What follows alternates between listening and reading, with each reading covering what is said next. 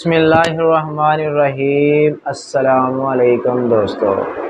दोस्तों, बात करते हैं सेहत के हवाले से। वीडियो के अंदर हम मटीलियम शरबत के बारे में बात करेंगे और इसका सही तरीका कार इस्तेमाल बताएँगे।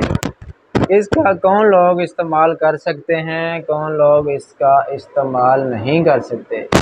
वीडियो शुरू करने से पहले सब दोस्तों से गुजारिश है कि जो हमारे चैनल पर न्यू हैं, हमारे पेज पर न्यू हैं हमारे पेज को फॉलो करें, चैनल को सब्सक्राइब करें इन ताकि आपको हर नई वीडियो का नोटिफिकेशन मिलता रहे। मेडिसन के हवाले से अच्छी अच्छी मालूम मिलती रहे।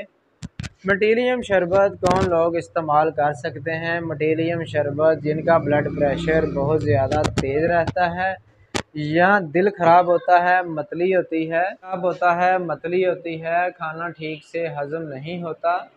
यहाँ खट्टी खट्टी डकारे आते हैं। खाने वाली नाली के अंदर बहुत ज़्यादा जलन होती है। मटीलियम शरबत का इस्तेमाल कर सकते हैं।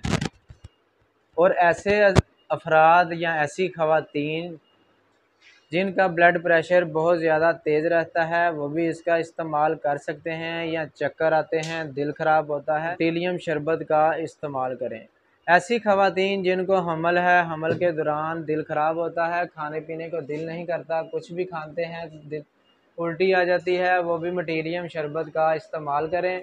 और ऐसी खातन जिनका ब्लड प्रेशर तेज़ रहता है, वो भी इसका इस्तेमाल कर सकती हैं। जिनको उठते, बैठते, सोते, जागते चक्कर आते हैं आँखों के आगे अंधेरा आता है, वो भी मटीरियम शरबत का इस्तेमाल कर सकते हैं। अगर हमारी वीडियो अच्छी लगी हो तो हमारे चैनल को, हमारे पेज को लाइक करें शेयर करें सब्सक्राइब करें। मिलते हैं नेक्स्ट वीडियो में।